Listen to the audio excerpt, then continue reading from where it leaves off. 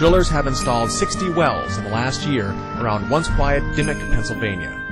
The drilling brought heavy trucks, contamination of drinking water with methane, and three chemical spills that caused a fish kill and damaged wetland.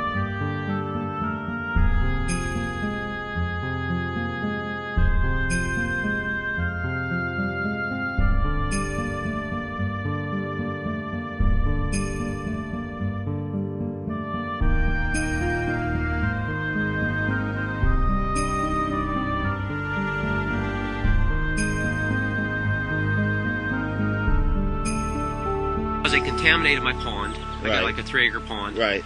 Telly denied it. Yeah.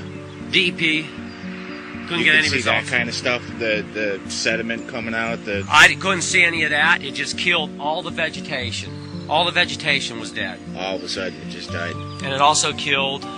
It also killed my uh, cattails.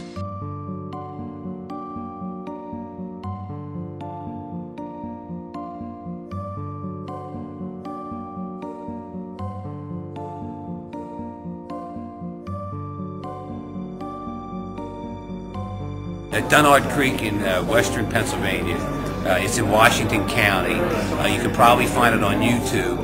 Very tragic. 164 species of uh, fish and invertebrates were uh, destroyed there uh, from uh, frac chemicals from the spill. to come over. You really got to come over and see this incredible video tonight from a home right here in western Pennsylvania. So you imagine flicking a lighter in your kitchen sink and having that happen. There's a lot of metals in the water, and barium. I, and they keep saying, well, it's at an acceptable level. I don't, I don't want to hear it's an acceptable level. I want to hear that it's not there. They kept on telling us, just be patient with us, be patient with us. You know, we'll, you know, it'll, it'll straighten out. It'll straighten out. It's killing the flowers, it's killing the rose bushes, it's killing, it's killing everything I had here for years.